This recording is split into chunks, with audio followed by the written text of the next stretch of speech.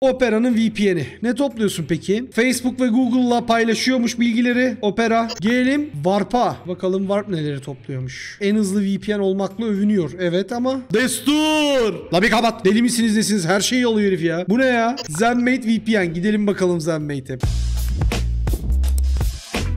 Sevgili dostlar, dediğiniz ki VPN'leri incele. VPN'lerin altından girdik, üstünden çıktık. Hepsinin privacy policy'lerine baktık. Popüler VPN'lerin hepsini inceledik. Günün sonunda alayı donunuza kadar satıyor oğlum. FreeSale VPN kesin satıyor. Paralıysa onda bile satıyor. Her türlü VPN satıyor. VPN kullanıyorsanız abuk subuk işlere girmeyeceksiniz yani. Yani sizin IP bilginize her türlü VPN servisi tutar arkadaşlar. Orada yapacağınız hiçbir şey yok. VPN servislerin hepsi 3 aşağı 5 yukarı sizin bilgilerinizi aralarında böyle 3-5 tanesi var sadece. Geri kalanların hepsi sizin bilgilerinizi satıyor. O 3-5 tanesi de login information, IP, geografik bilgi bilmem neyi tutuyor. Reklamcılara satmıyor bilgilerinizi. O yüzden hani adam benim bilgilerimi aldı satıyor mu satmıyor mu bilmem ne falan diye canınızı sıkmayın gidiyor yani. Reklamcılara vermiyorlar sadece. Tek fark o. Şimdi VPN Hub. Sen bir ver bakayım şunu. Eğer premium account'unuz olursa payment'larını toplamayacağız diyor. Abi çalıştırdınız login olmadınız daha. Mobile ID, operating system, platform, browser type, versiyon, network information, teknoloji, device ne tarz cihaz kullandığını, website veya servisleri.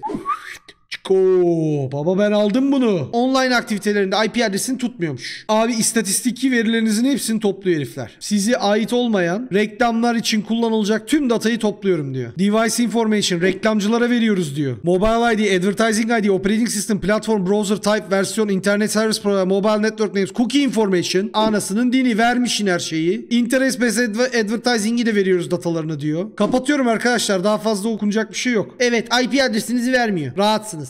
Sifona bakıyorum. Ne topluyorsun peki? What city, country, ISP connection come from? Destur! Verdi adresini. Haydi bakayım. Yallah. Gitti. For some domains or server IP addresses that were visited. Ya bir s- Geolo- geographical location'a kadar veriyor. Hadi la. Zenmate VPN. Gidelim bakalım Zenmate'e. Bu eskiden çok severdim ben bu herifleri. Çok hayat kurtarmıştı bu herifler. Topladıklarımıza bakalım. Alman firması. Bu herifler kolay kolay yan basmaz arkadaşlar bir defa her şeyden önce. Bu Alman firması demek. GmbH demek. Time Access, Internet Protocol, IP adresi, Service Accessing System and Similar Data. Hmm. Yüzümü geri alabilir miyim? Alman firması. Bu herifler kolay kolay yan basmaz arkadaşlar bir defa her şeyden önce. Bu Alman firması demek. Abi direkt hiç hiçbir şekilde Zenmate'de hiçbir şey durmuyor. Her şeyi veriyorlar. Tüm bilgileri veriyorlar arkadaşlar. Personal data da şey if you elect to receive our newsletter bilmem ne dediğinizde newsletter'ın içerisinde tracking pikseli varmış bu arada. E-mail alıyorsunuz ya onun içinde okundu okunmadı açıldı açılmadığı ölçmek için e-mail'lar içerisine tracking piksel yapıyorlarmış. Zenmate de tavsiye edemedim şu anda. CyberGhost'a bakıyorum. Tamam bunları biliyoruz. Register olduğumuzda herkes topluyor. Bunlarda yabancı bir şey yok. Battery charge, screen resolution, Google Advertising ID, gyro sensor data, screen size. La bir kapat. Deli misiniz nesiniz? Her şeyi alıyor herif ya. Bu ne ya? Sırada one click VPN var. We may collect personal users a variety of ways in collection activities diyor lan. Bir form doldurduğun anda alıyorlarmış bu datayı. We do not sell trade rent users ve sizin bilgileri reklamcılara satıyoruz diyor. Deliver to user advertising partners. Satıyormuş arkadaşlar reklamcılara haberiniz olsun. Turbo VPN. Adres, telefon numarası, payment details. Details'ı toplamıyoruz. Turbo VPN gönderiyor diyor. Oha bak browsing is traffic destination data DNS hiçbirini tutmuyoruz diyor. We do not collect data of your connection logs. Bak burada da yok. IP, outgoing VPN IP, connection times and session duration. Bak diğerlerinin hepsi alıyordu. Bunlar almıyor bak. Account email adresini isteriz diyor. Account şeyinde communicate etmek için, seninle konuşmak için update, announcement, marketing information, our offer'ları, survey bilmem neler. If you contact us directly konuştuğunda telefon numaranı falan kullanabiliriz diyor. Bu normal. Data ne maintain the services. Burası kıl. Lan abstracted data deyince ben kıllanıyorum ya. VPN location you connect to your country. internet service you cannot be identified. Abi gittik yine şey olduk. Yani burada da bir kıllık var abi. Tamam ben sadece bunun için kullanıyorum diyor ama Turbo VPN de yani Super VPN de yapıyordu. Bunların hepsini diğerleri de yapıyor dostum. Sana itimas geçemeyiz. Chat itimas geçemeyiz değil mi? Proton VPN. Bakalım. Bu adamlar böyle şeyler yapmazlar ama. Alman firması bu herifler kolay kolay yan basmaz arkadaşlar bir defa her şeyden önce. Bu Alman firması demek.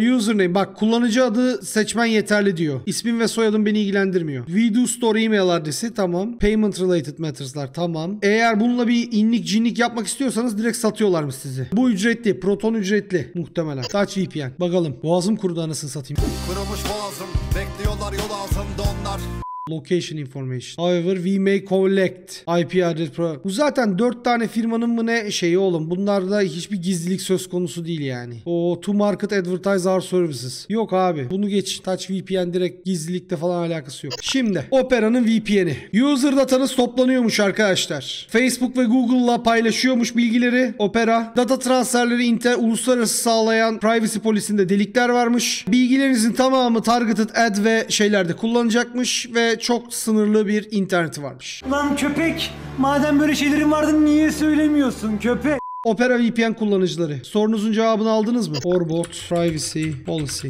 Abi bu normal Tor Network'üne bağlanan bir client yani. Bu bir VPN değil. Girebilirsiniz Orbot'a ama bu VPN değil arkadaşlar. Tor Network'üne bağlanan bir proxy chain. Proxy chain başka, VPN başka. Bu bir VPN değil arkadaşlar. Panda VPN vardı değil mi bir de? Girer girmez 800 kişiye verdi zaten bilgilerini ya. Kim ya? Panda VPN. Niye? Yukarıda IP yazıyor.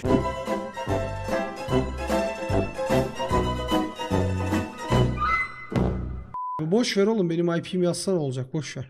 E neyi topluyorsun sen VPN olarak? Bak neyi topladığını söylemiyor arkadaşlar. Hiçbirini söylemiyor. Buna güveniyorsanız siz güvenin yani. Ben bilmiyorum. Anlatmıyor yani. Cookie'leri topluyoruz diyor ama diyor şeylere bakmıyor. Bak bunda Free VPN de var. Free Open VPN account'u da var. Connection loglarını haftalık olarak tutuyorlarmış abi herifler. Bu da Proton gibi. Yani bunun muhtemelen bir kısıtlaması vardır ama Open VPN'le kullandırtıyor. Ama login information'ını tutuyor bak. Güzel ama tutuyor bilginizi haberiniz olsun. Patlamayın sonra. Gelelim Warp'a. Bakalım Warp neleri topluyormuş. En hızlı VPN olmakla övünüyor. Evet ama name, phone number, credit card information tutmuyoruz. App Store'da bile tutmuyoruz diyor. Rent yapmıyoruz. Device data'da diyor kendimiz için tutuyoruz diyor. Ama bunu diyor vermiyoruz diyor. Connection data'da anonymize haliyle Cloudflare network'üne nasıl bağlandığını anonymize olarak application'dan görüyoruz diyor. Bak third party'ye bilmem neye vermiyoruz diyor arkadaşlar. Ha diyor ki service provider'ları hiçbir şekilde bizden aldığınız bu bilgileri size ve başkalarına veremez. Kendi marketing purpose'ları için de kullanamaz. Illegal activities yapmayın diyor tabi. Şöyle söyleyeyim size. Hinlik cinlik yapmazsanız hiçbir reklamcıya bilmem neciye ıvırına zıvırınıza ID'nizi satmıyor Warp 111. Bakın dostlar. VPN kullanıyorsunuz. VPN ayrı şey. Proxy ayrı şey. Bunları birbirine karıştırmamak lazım. VPN'de ben evimden çıktım. Kapıdan çıktıktan sonraki bütün yolum iş yerine varacağım mı gideceğim bütün yol trafiğe kapalı. Benim için özel olarak hazırlanmış. O yolda tamamen bir tünelin içindeyim ve orada nerede durduğum, nerede gezdiğim, ne yaptığım, ne ettiğim hiçbir şey görünmüyor dışarıdan. Proxy'de şöyle yapıyorsunuz arkadaşlar. Yerin altına giriyorsunuz evin oradan ama tek şeritte sadece bir şerit kapanıyor. Diğer her yer normal otoyoldan gidiyor. Bir tek web trafiğiniz yolun altından gidiyor. Ondan sonra da çıkıyorsunuz dışarı. Hikaye o. Abone olmayı unutmayın. Paylaşın, yorum yazın, çanı açın. Yayına gelin yayına. Hadi abone olun, yayına gelin. Görüşürüz YouTube'cum. Abone olun oğlum.